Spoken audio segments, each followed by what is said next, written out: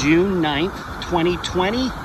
We made it to the base of White Goat Falls off the David Thompson Highway on your way to the Saskatchewan River crossing.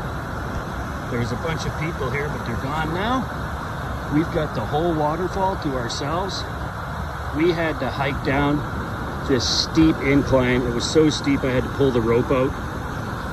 But hey, no pain, no gain. We made it to the bottom and uh, my first time here. I will certainly come back again. White Goat Falls.